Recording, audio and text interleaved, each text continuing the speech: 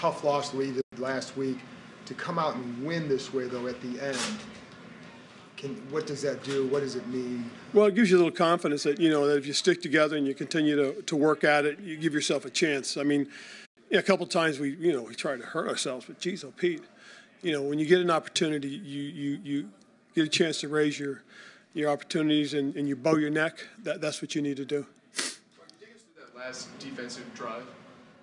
Well, everything was fine until we let the kids scramble for 40 yards. I mean, that, that's that's the heartbreaker. I mean, you know, you, you you've got them contained. You you know, you have a chance. You sack them on the first play. Um, you know, they they convert on their third down, and you know now you got them a little confused, and he pulls the ball down and runs. I mean, that's that that that's you know that that's that's that's undisciplined. I mean, that, that that's that, that's where you get angry because again, we had a chance to keep him we had done a pretty pretty good job with a lot of the rush lanes, and for whatever reason, we, we, we got a little undisciplined at the end, and it cost us. They got the ball down to the five yard line. 12 men on the field twice. Yeah, that, that's unacceptable. That's unacceptable. Now, one of them, you know, I tried to get the timeout.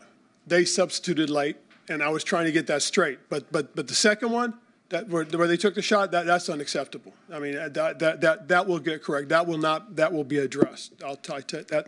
I'm pissed off about that one. How does that, how does that happen, that second one? What happened? Well, somebody was cramping up, you know, I mean, trying to get off, and so we tried to substitute, and we got caught. What was your view on the, on that very last play? I don't know what your view was, if you could see. Oh, um, I mean, we thought it was incomplete because we thought his left arm went to the ground first. But as he was coming down, you saw the ball was on his this side, and his back was to the uh, pylon. So thank goodness. It looked like uh, Carson's fingers got jammed there in the second. Yeah, he I believe he bounced it off of somebody's helmet, but you know he fought through it, kept his kept his hand loose, you know, kept grabbing the uh, the you know inside his uh, his pouch he has um, the heaters, the little uh, heat packets, so he's kept him to keep that to keep his fingers loose. Sorry, was there any consideration of a switch there? No, no, he was he was handling it very well.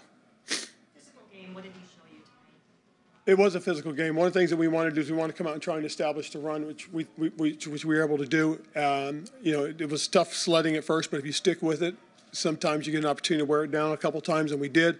We had a couple nice runs. We had a nice little change up when Antonio came in in the second half, and he hit a couple off off tackle, and we thought that was really good. Um, and that really kind of changed a little bit of the momentum for us as far as our running game was concerned as well.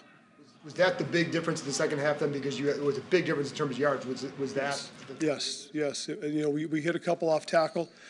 Um, Antonio turned up a couple of, of really nice ones. I think he had one for almost 20 yards, and, and just really kind of what you hope, and that's what you kind of envision. You got you know you got a, you got a, a stout runner that runs inside between the tackles. You got a guy with Antonio's athleticism, can get off tackle and, and can really burst. So honestly, I'm gonna I'm gonna speak my mind for a second. For honestly, uh, it, it's been hard. It really has. You lose four games in a row, and everybody wants to get you you know just get on you.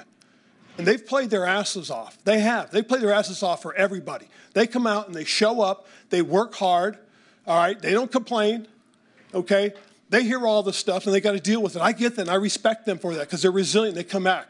Everybody keeps wanting to say, I didn't want anything to do with Carson. Well, I'm the guy that pulled out the sheets of paper, that looked at the analytics, that watched the tape in the freaking when we were at Indianapolis.